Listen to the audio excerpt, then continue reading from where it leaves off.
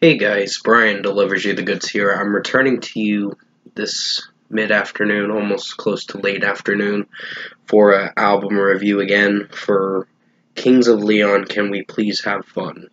Their 12-track album that I got done listening to for this 45-minute record, or almost 45-minute record. So I'm going to discuss what I listened to for all 12 songs, which four, three of them were singles, and let you know my thoughts on their ninth studio album, Can We Please Have Fun? So let's dive into this album review now. Basically, this is the follow up to When You See Yourself, their eighth studio album, which honestly I didn't hate that record. Um, I mean, some of the songs were a little slow and boring, but with this one, they're trying to go back to their old sound, which was the Only by the Night era and we're going to start it off with Ballerina Radio.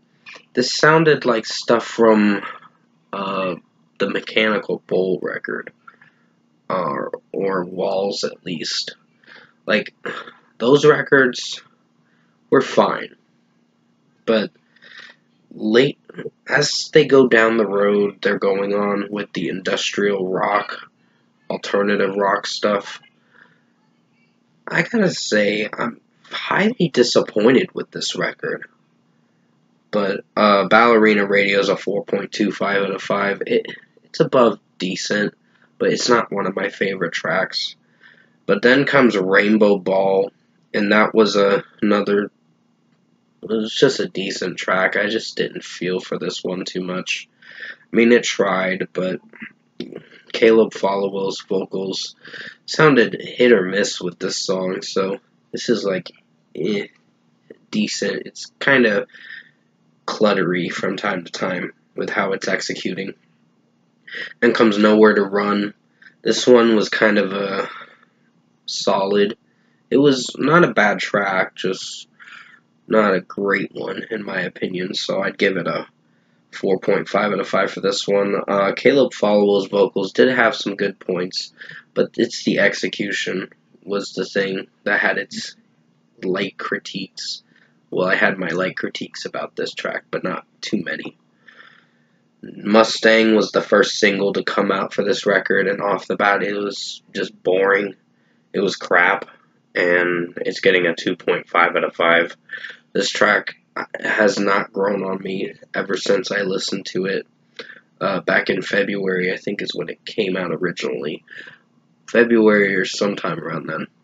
But still, it it was the worst lead single for to announce this record. Can we please have fun? So not a great start of a lead single. So 2.5 out of 5 for Mustang.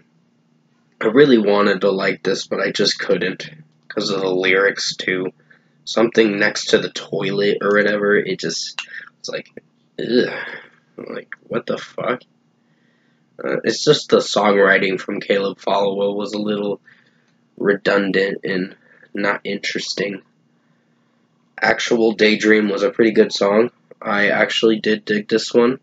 Uh, one of the highlights for this record, which the record's not very good, if I should say, but uh, we will get more into the critiques I have with this record. Sorry, this freaking gnat that's around me.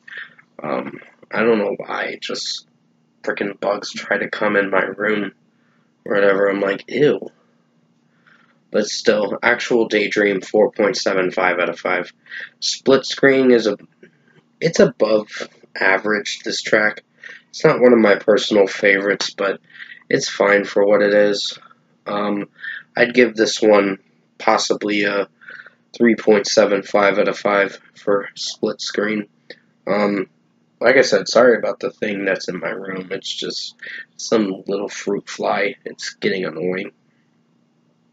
Don't Stop the Bleeding is a decent track. Caleb Followill's vocals are good from time to time, but it's just the execution of the melody that I'm not really pleased with too much. It's decent, but it didn't interest me too much.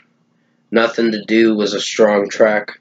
I'd give this a 4.75 out of 5. I think this was one of an, another one of the highlights for this record. I mean, some of the way it sounds, it's not one of your favorite Kings of Leon songs, but it's fine. So, uh, I think it's pretty good in its own way, but it just has its hit or miss moments. M Television um, is going to get a 4.5 out of 5. I didn't hate this track necessarily, but I just think there were some critiques I had with how the melody is structurally sounding and its execution. And Caleb Followill's vocals are good from time to time, but it has its hit or miss moments with its melody. So 4.5 out of 5. Hesitation, hesitation Gen, I meant to say. Uh, with sorry about my slurring. Pretty much, this track didn't do it for me. I mean, it was average at best, but I think they're just trying to spark up something from the Only by the Night era, and it's not really doing it very well, in my honest opinion. So I'd give this a 3.25 out of 5. This track is okay, but it's kind of cluttery from time to time. So, Ease Me On is a disappointing track. I just felt bored with this one. I really wanted to like the last two songs, but they really utterly bored me. It's like, okay, let's just finish this record and see what I think of it. But overall, Ease Me On was the second to last song before you get to the closing track Seen, and it's boring. Ease Me On just feels like a dud. So it just is sluggish. It's lacklusting with how Caleb Followill's singing it, and it's just not really entertaining me in the best way possible. 2.75 out of 5. Seen is the closing track for this record. This actually tried to be good, but the execution flaw was the melody the way Caleb Followill singing it from time to time. But it just lyrically had the idea, but it didn't fully utilize very well with the execution of the melody and how Caleb Followill was singing it. So this one is a 2.75 out of 5. It tried, but it just I didn't feel for this track too much. It felt like another slow, boring song from Kings Leon, and that's a shame because I really like this band, but I just felt torn by this record. So overall, production, mixing, and execution wise, I found this to be highly disappointing of a ninth studio album, and not in a good way. This record had a couple flaws. Most of the tracks got from 3.25 out of 5 to 4.75 out of 5 is the highest for the good tracks, the tolerable ones.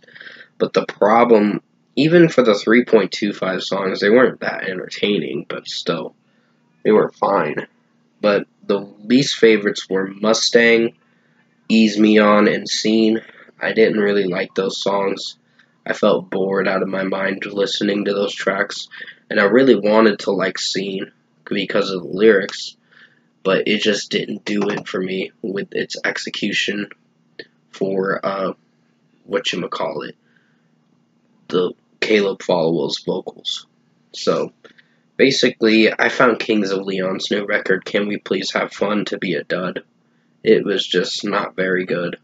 And if I were to give it an overall score, I'm gonna give it a 5.5 out of 10. I'm unfortunately disappointed because nine albums in and they're trying to make something good of their newest stuff to make it sound like it's good as only by the night, but it's not going to top that. That was one of their best records, but I think once they got to Walls, I think Walls had some good tracks and had some hit or miss tracks, but after that, they kind of fell off, and not in a good way. Um, and it's a shame because this is a band I grew up listening to when I was 13, uh, like 15 years ago, um, 15, 16 years ago. And I really enjoyed Only by the Night. That was a very strong record. Um, Come Around Sundown had was an acquired taste, but it had some strong tracks. Um, and then you have Mechanical Bull, which had some fairly decent tracks. Then Walls had some catchy tracks, but not amazing songs in any way. But then come when you see yourself was actually probably a good record, but this one fell off big time because when the first single came out, I had a feeling I was going to be highly disappointed with this new record. And unfortunately, I was. So, I'm sorry to some Kings of Leon's fans if they don't like this review. It's just, I didn't find myself loving this record. I found myself highly disappointed with the soundscape and how it's sounding overall. With the tracks and Caleb Followill's vocals are not tuning right in this record. It's just he's trying too hard to make it sound as good as Only by the Night, and it's not going to top that, unfortunately. So I think they need to actually stick with the sound they know they're comfortable with and try to perfect that in a good way. But other than that, yeah, 5.5 out of 10 for uh, Kings of Leon. Can we please have fun for their new album? Thank you for watching this album review today.